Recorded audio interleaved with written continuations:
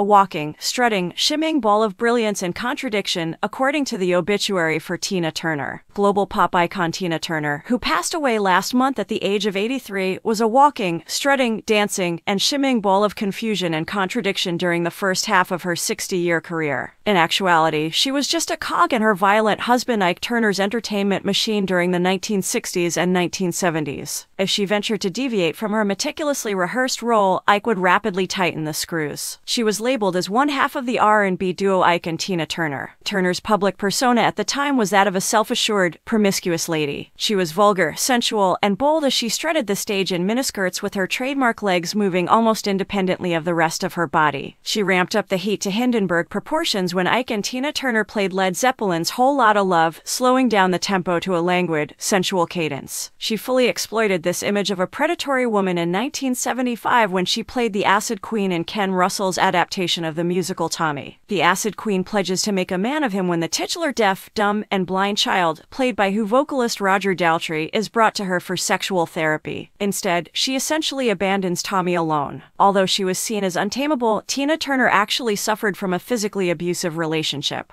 Early on in their relationship, when she sought to leave him, he struck her about the head with a wooden shoe stretcher, starting the abuse. She later wed Ike and performed with him in the Ike and Tina Turner Revue for the following 16 years, leaving the union with nothing more than the sequins on her back in 1976. The second child of Floyd and Zelma Bullock, Tina Turner was born Anna Mae Bullock on November 26, 1939, in Brownsville, Tennessee. She grew up in the little town of Nutbush, Tennessee, with an older half sister named Evelyn and an elder sister named Ruby Aline. She went to Flagg Grove Elementary School and performed in the church choir there. When Anna Mae was just 11 years old, their mother left the family home after being abused by Floyd. The world of music and entertainment proved to be too great a temptation for Anna Mae, a naturally compassionate person, to resist after graduation. Instead, she and Aline would frequently visit the nightclubs and venues of St. Louis, Missouri, where they lived with their mother. When Ike Turner and his band came to town, Anna Mae was constantly in the front row. She was mesmerized by him and begged him to let her join the band. After she took the microphone during a break in one of his performances and went loose with those pipes, Ike eventually gave in.